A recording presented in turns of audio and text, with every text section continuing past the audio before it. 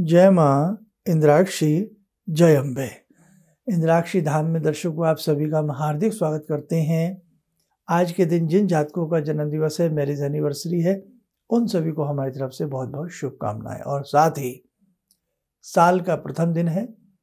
English नव वर्ष की आप सभी को बहुत बहुत शुभकामनाएँ।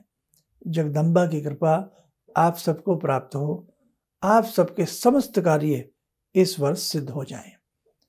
सन 2022 में हम क्या भूल आए, क्या छोड़ आए, क्या नहीं कर पाए? सन 2023 हमारा ऐसा ना बीते। भगवती की कृपा, भगवती का सायुज्य हम सबको प्राप्त हो। ईश्वर की ही कृपा है जो हम सन 2023 देख रहे हैं। नहीं तो कितने अपने अपनों से कोरोना काल में और बहुत सारी बातों में दूर हुए हैं। हमने इस बार आपको बहुत लोगों की रिक्वेस्ट आई थी। हमने सन 2023 के जनवरी से लेकर के, जनवरी के उपाय, मेष से लेकर के मीन तक के दिए हैं, वो लोग आप लोग ध्यान से उन्हें ज़रूर कीजिएगा ताकि ये वर्ष आपका बहुत अच्छा व्यतीत हो सके।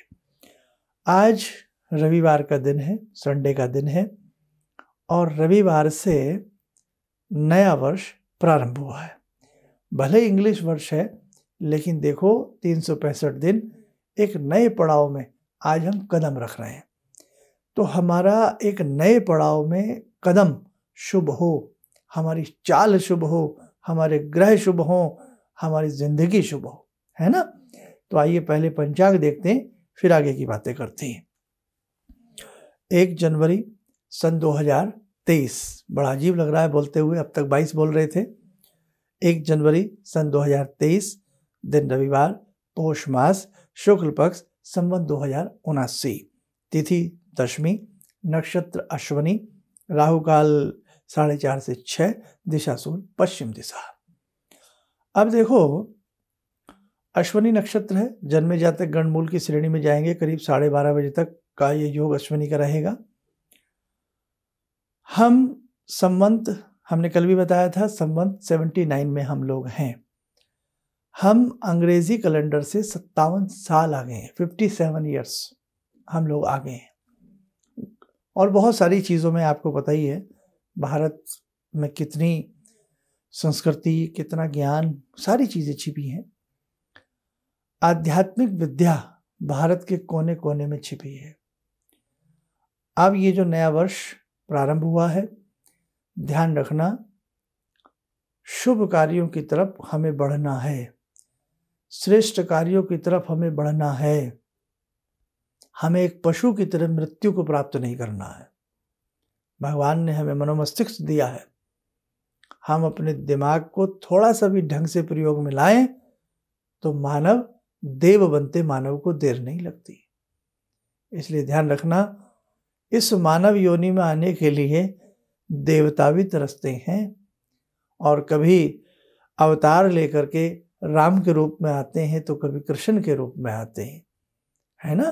तो ये भगवान ने मनुष्य बहुत ही सोच समझ करके इस योनि को बनाया है। इसलिए भैया, अब 2023 ईश्वर की कृपा से प्राप्त हुआ है, भगवती की कृपा से प्राप्त हुआ है, इसे हमें बहुत अच्छे से बिताना है। आज जैसे रविवार का दिन है, अपने गुरुओं को प्रणाम करना, अपने बुज़ुर्गों को प्रणाम करना चाची, ताई, काकी, नानी, नाना, मौसा, मौसी, फूफा, कितने सारे रिश्ते हैं ना हमारे यहाँ और कितना अच्छा लगता है। सबसे आशीर्वाद लेना। और जो आपके मित्र हैं, वो वाले कौन से? जो आपसे रूठे पड़े हैं, जो आपसे नाराज़ हैं। चाहे वो मित्र हों, चाहे आपके रिश्ते हों, उन सबको फ़ोन करना। अब चिट्ठी पत्री तो कम हम लोग डालते हैं, फ़ोन पर ही सारी बातें हो जाती हैं। अपनी तरफ़ से आप क्षमा मांग लेना। नीचे झुकने में बहुत बड़ी बात होती है। नीचे वही झुकते हैं जिनके कदम आगे बड़े होते हैं। आपने अनेकों मंदिरों के तीर्थों के दरवाजे देखे होंगे। जब हम जाते हैं तो नीचे झुक कर के जाते हैं और जब नीचे झुक कर के आगे बढ़ते हैं ना तो महाशक्ति के साक्षात्कार हमें होते हैं। इसलिए मेरे मेरे सभी सुंदर सुंदर पाठकों, साधकों, झुकने में बड़ाई होती है और भलाई होती है। फलदार वृक्ष भी झुके होते हैं। इसलिए आज का दिन कीमती है। रिश्तों को मधुर बनाने का भी दिन है। ध्यान रखना सारी बातें। और संभव हो सूर्य देवता को आज दो तीन बार निहार करके प्रणाम करना। लाल चंदन मस्तक के ऊपर तिलक लगा के रखना और कहीं आसपास गौशाला हो, वहाँ थोड़ा गौ माता को जाकर के गुड़ खिलाना थोड़ा थोड़ा जितना भी आपकी पॉकेट अलाउ करे। पक्षियों को आज दाना डालना, बच्चों से प्यार करना, घर में खटपट नहीं करना, समझ गए ना मतलब? लड़ना नहीं है। प्यार से रहना, अब आप ऐसा ना समझिए कि हम कह रहे हैं आप लड़ते हैं। नहीं साहब, आप नहीं लड़ते हैं, आप तो बहुत अच्छे बच्चे हैं। लेकिन आज बिल्कुल नहीं, आज शरारत बिल्कुल नहीं। बहुत अच्छे से मन को समझा करके हमें आगे बढ़ना है और जितना हम प्यार बांट सकते हैं, हमें उतना प्यार बांटना है। ज्ञान बांटना है, प्यार बांटना है। जो व्यक्ति प्यार बांटता है ना, वो बहुत प्यारा होता है। उसके इर्द गिर्द पशु, पक्षी, मनुष्य सभी उसकी तरफ़ झुक जाते हैं। प्यार की कीमत नहीं होती। इसीलिए प्यार बांटने का प्रयास किया करें। हमें संग्रह कम आना चाहिए, लेकिन हमें बांटना जाने आना चाहिए। देने की प्रवृत्ति हमारी होनी चाहिए। जिसे देना आता है ना तो प्रकृति उसे स्वयं देती है। हम खेत में एक बीज बोते हैं और भगवान उसके एक के सौ सौ बालियाँ सौ सौ बीज करके हमें वापस कर देती है। इसलिए बांटते रहिए, देते रहिए। परम पूज्य गुरुदेव, पंडित श्री राम शर्मा की जय हो। वो कहते हैं कि बो और काटो, बो और काटो मतलब अच्छा कुछ करो, उसका फल तुम्हें मिलेगा ही मिलेगा। अच्छा कर्म करो, उसका फल तुम्हें मिलेगा ही मिलेगा। और एक बात गुरुदेव ने ऐसी कही जो मन को झंझोड़ देती है। आज मैं आपसे कहूँगा, क्या? हमारा भाग्य हमारे पुरुषार्थ से, हमारे अच्छे कर्म से ही हमारा भाग्य बदलता है। हाँ यह है कि हम भगवान का शुभ आशीष लेने का हमेशा प्रयत्न करें। और भगवान का जब शुभ आशीष होता है ना तो उनके आशीष में क्या छिपी होती है बात? कि देखो, जो तुमने कर्म किए हैं, अब आगे मत करना। जैसे एक माँ डांटती है, एक पिता डांटते हैं। तो वास्तव में मनुष्य अपने भाग्य का निर्माता है। बड़ी बड़ी ज्ञान की बातें हमारे बड़े बताते रहे हैं। वास्तव में भारत ज्ञान की धरा है, ज्ञान की भूमि है। रत्न प्रसीवनी है ये धरती, रत्नों को पैदा करने वाली है भारत की भूमि। और एक चीज़ और आपको बताएँ, अच्छी संगति कीजिए। अगर आपके दोस्त भले ही पुराने हों और अच्छे नहीं हैं, छोड़ दीजिए उस संगति को। आप 2023 में प्रवेश कर रहे हैं। आगे बढ़ना है। झाड़ झंकार में लिपट करके ज़िंदगी को ख़राब नहीं करना है। अच्छे लोगों में बैठोगे, अच्छे लोगों में रहोगे, ज़िंदगी अच्छी होने लगेगी। आकाश से बरसता पानी मेघों का, बरसात होती है ना, आकाश से मेघों का पानी बरसता है, वो पानी गटर में भी गिरता है तो गटर का जल बन जाता है। वही जल जब गंगा जी में गिरता है तो क्या बन जाता है? गंगा जल बन जाता है। इसलिए जैसी संगत, वैसी रंगत। अच्छे से रहिए, अपने बच्चों को अच्छा सिखाइए अच्छा बनाइए, अपने आप भी अच्छे बनने का प्रयास कीजिएगा। ज़िंदगी बहुत कीमती है और कीमती तरीके से इसे समझने का आप लोग प्रयास कीजिएगा। अधिक न कहते हुए बस आज का तो इंद्राक्षी धाम की ओर से हमारा आपको यही संदेश है। आप जीवन में तरक्की करने का प्रयास करें, मरने के बाद हाथ में कुछ भी नहीं आता है। आइए। समय हो चला है आज की ध्यान साधना का। उस पटरानी, उस महारानी, उस जगदम्बा से हम प्रार्थना करें, हे भगवती, आप विश्व का कल्याण करें। आप सभी को प्रसन्नता दें, आप सभी को शुभ आशीष दें। ॐ सिन्दूरारुणविग्रहां त्रिनयनां माणिक्यमूले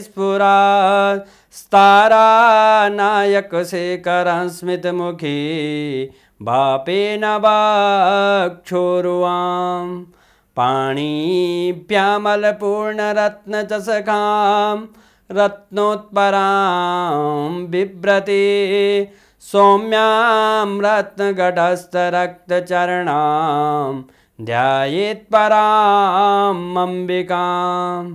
खड्गं चक्रगदेषु चापपरिगान् चूलम्बुसोण्डिं शिरा शङ्खं संददतिं करे स्त्रीनयनां सर्वाङ्गभूसावृतां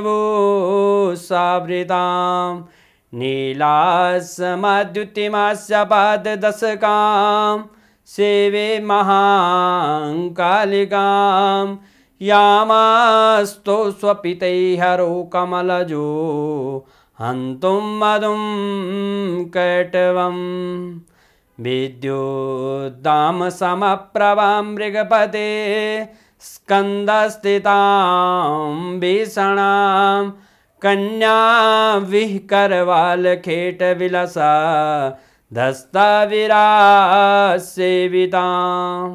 धस्ताविरासेवितां हस्तेश्चक्रगदाशिखेटविशिखां चापं गुणं तर्जनीं, विप्राणामलिलात्मिकां शशिधरां, दुर्गां भजे कवच बना लें, ध्यान करें, जगजननी की कृपा हम सबके ऊपर बरस रही है।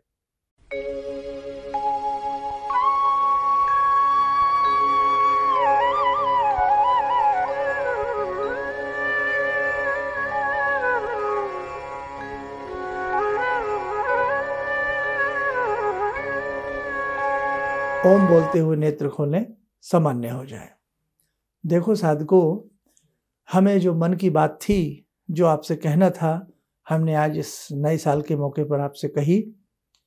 आगे आपकी इच्छा है, लेकिन मुझे उम्मीद है कि आप बहुत अच्छे हैं और ज़िंदगी को बहुत अच्छे तरीके से हम सबको मिल करके जीना है।